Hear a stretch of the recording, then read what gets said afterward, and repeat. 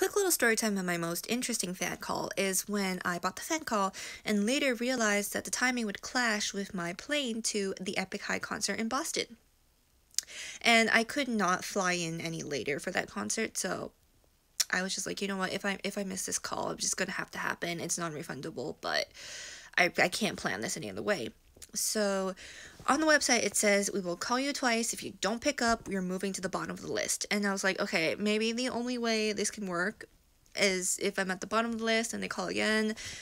But I don't know if they will. Like, the language is very odd. I, I don't fully understand. I'm on the plane, about to put my phone in airplane mode. The first call comes in. I'm like, don't, I don't want to pick up, but the plane is literally about to take off. I cannot.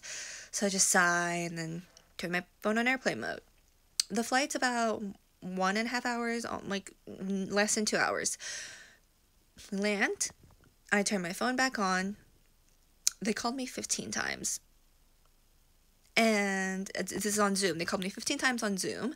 And then I'm like, why do I have a Kakao Talk message? Open it up. I did not give them my Kakao Talk. They found my Kakao Talk, left me a message. You have fan call. No alarm?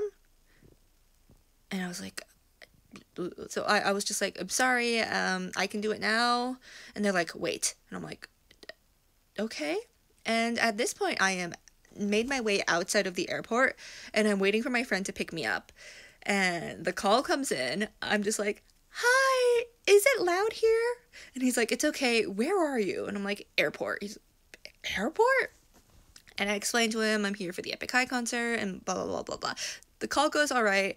Um, my friend arrives as the call is finishing up, and I'm just like, Nachingo my friend is here. I'm like running to her car, and I'm just like, he's laughing at me, and I'm just like, this timing is this timing. Uh, so yeah, that is probably the most interesting fan call so far.